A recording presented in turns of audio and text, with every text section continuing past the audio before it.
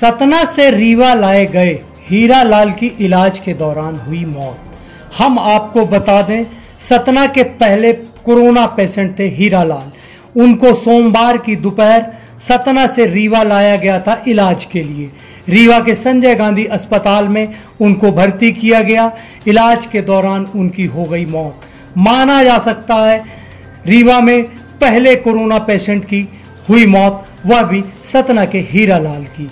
इस तरीके से अभी फ़िलहाल रीवा में दो कोरोना पेशेंट हैं जो कि काफ़ी बेहतर स्थिति में बताए जा रहे हैं। मैं आपको बता दूँ, डॉक्टर सिंघल के परिवार से ये दोनों लोग जुड़े हुए हैं।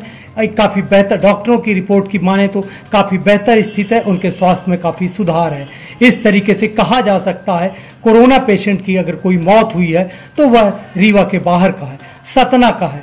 ये अहमदाबाद से आए थे। जब अहमदाबाद से आए थे, तभी से बीमार थे। इनको संजय गांधी अस्पताल में आज ही लाया गया था। उसके पहले सतना में इनका इलाज किया जा रहा था। कोरोना पेशेंट की मौत हो गई। है कहाँ से आया था पेशेंट? कैसी हालत थी उसकी? और अब आगे की कार्रवाई क्या होगी? जो सतना ज़िले से एक कोरोना पेशेंट आया था, जिसका नाम हीरालाल सेन सन ऑफ़ चिंतामणि सीताराम सेन, पैंसठ वर्ष ओल्ड था और काफ़ी सीरियस कंडीशन में था तो जिसको यहाँ लाया गया था और यहाँ अपने यहाँ जो हॉस्पिटल भर्ती किया गया था उसको। तो उसके जो है अभी शाम को पाँच, साढ़े छः बजे के आसपास उपचार के दौरान उसकी मृत्यु हो गई है। मृत्यु होने के पश्चात जो अपन जो भी जो भी अपन लोग औपचारिक उसकी पूर्ति है वो औपचारिक करते औपचारिकता करते हैं तो उसके लिए अपन ने उसको सूचना भेज दी है। और जो भी उसकी औपचारिकताएँ होंगी वो पुलिस और नगर निगम के द्वारा की जाएँगी।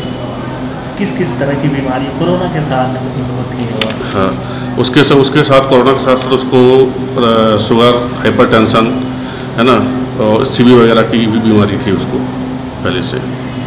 65 फाइव ईयर्स ओल्ड था।